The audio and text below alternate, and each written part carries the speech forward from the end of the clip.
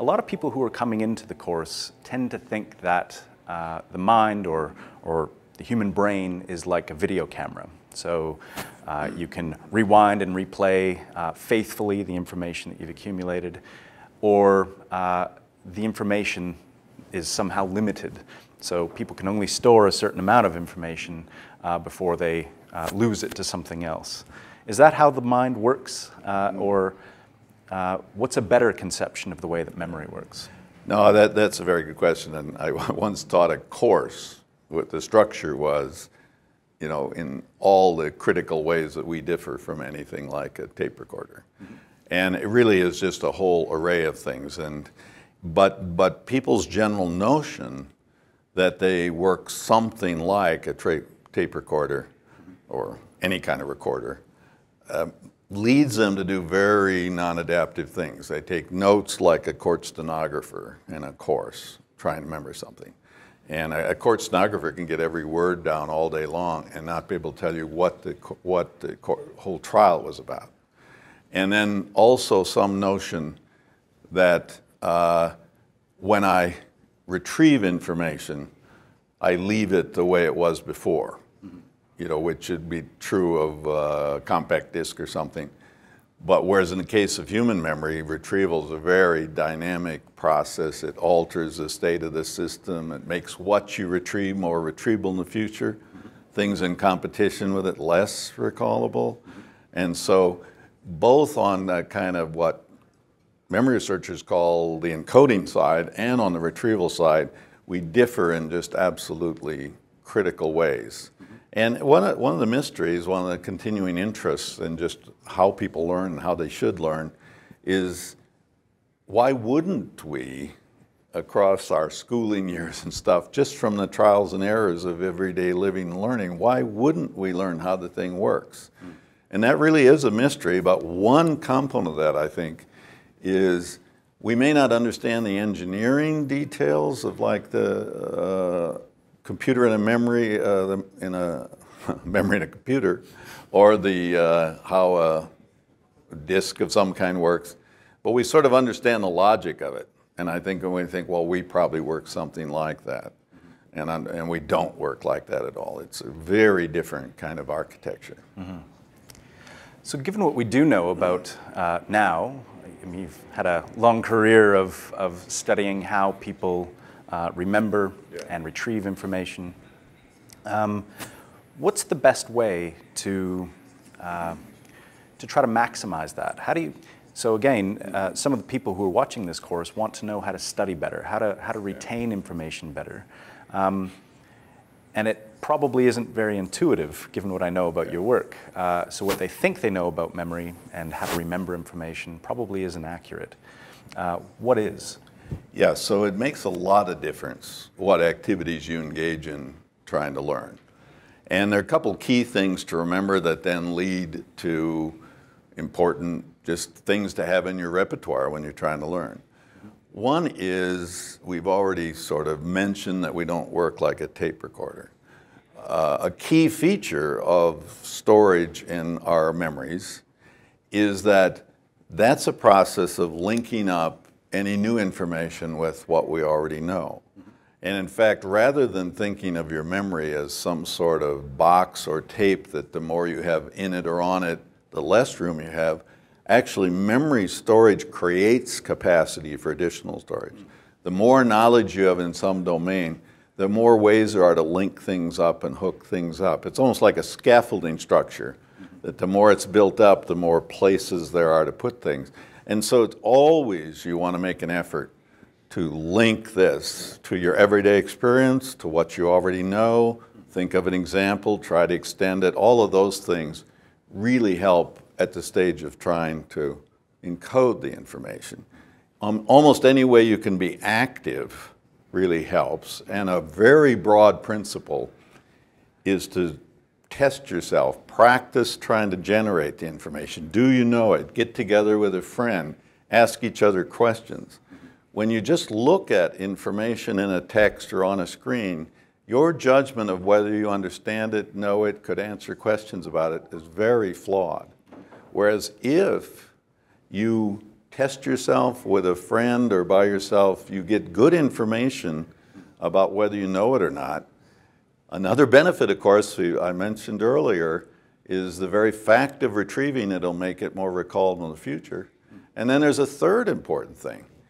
It potentiates the effectiveness of your subsequent study. If you've tested yourself, and I don't mean testing in such a formal way, you can just stop and think, can, could you summarize this? Mm -hmm. You're together with a friend, try to come up with a question an instructor might ask.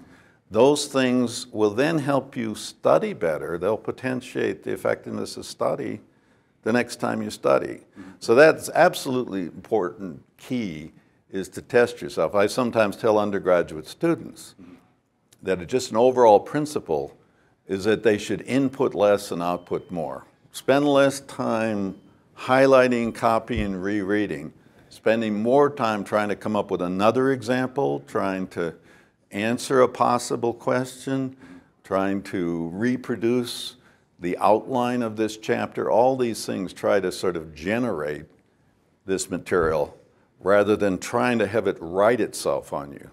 You know, the whole effort to just copy it down with the whole notion that it will sort of write itself on you if you're diligent enough is just so wrong and so wasteful uh, that, that, to spend that much time. Uh, often students have come, they're disappointed in their exam. Uh, I ask them to bring their textbook, their notes, tell me how they're trying to study.